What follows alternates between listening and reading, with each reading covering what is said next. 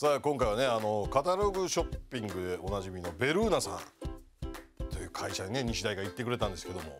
カタログショッピングだけじゃなくこんな素敵な事業もやられてたんだというね、えーそういうところに西大が行ってます。本当に番組内でも言ったんですけどやっぱこういう時のためにやっぱ無名女子大生タレントをね雇うべきだと強く会議で言っておきますんで。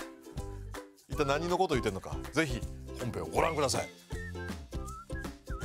今回ベルーナさんお手伝いさせていただきました。私たち女性にとっては、まあ、通販でお洋服とかお世話になってるんですけれどもまさかのホテルまで手掛けているっていうの知ってましたか？まあ想像もつかない関係性なんですよね。もうこの二面性、まあ、大日如来の裏の顔が不動明王だったみたいなそういった驚きが皆さんにもあると思いますね。ただちょっとねその主演の西大さんがちょっとなんかまあ景色だけでも良かったかもしれないんですけどまあでも本当にホテルは素敵なのでぜひともご覧ください。